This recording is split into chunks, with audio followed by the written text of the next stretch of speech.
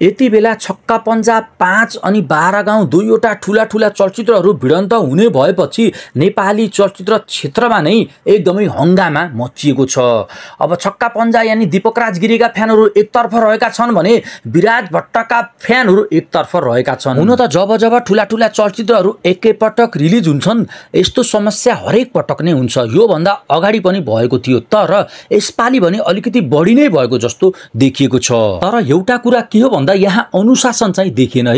एउटालाई सपोर्ट गर्नु अर्कोलाई विरोध गर्नु त्यो आफ्नो ठाउँमा छ तर पनि एउटा अनुशासन भन्ने शब्द त हुन्छ नि। त्यो अनुशासन भन्ने शब्द नै हराएर विरोध गरेको देखियो। यानि अर्कालाई विरोध गरे भन्दैमा जे मन लाग्यो त्यही बोल्न चाहिँ उनीहरूले कहाँबाट छुट पाए त? यसै क्रममा छक्का पन्जा पाँचका कलाकार दीपक राज गिरीले पनि एउटा स्ट्याटस लेखेका थिए हिजोको दिनमा। उनले के भनेका थिए त? जस्ताका तस्तै मैले तपाईँहरूलाई पढेर सुनाउन चाहन्छु। उनले भनेका छन् राजनीतिमा साइबर सेना त सुनेकै हो अब चलचित्र क्षेत्रमा पनि आएछ।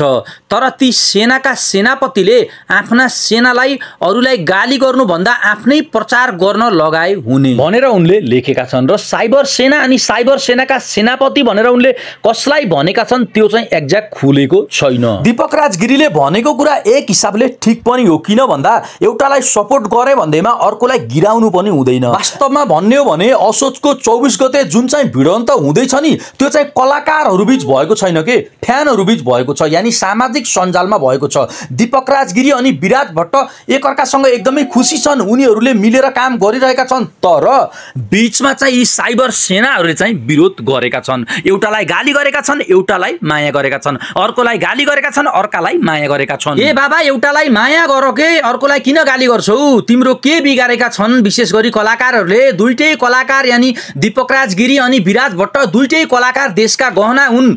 त्यो कुरा सोच्नुपर्छ के सबैभन्दा पहिला? असोजको चौबिस गते दुईवटा चलचित्र छक्का पन्जा अनि बाह्र गाउँ यी दुइटैलाई हामीले सपोर्ट गर्नु पर्दछ किन भन्दा यी दुइटै चलचित्र नेपालका चलचित्र हुन्। बिचमा भारतीय चलचित्र आयो भने बरु त्यसलाई चाहिँ हामीले विरोध गर्नु पर्दछ तर नेपाली चलचित्रलाई हामीले सपोर्ट गर्नु पर्दछ जय नेपाल जय नेपाली सिनेमा।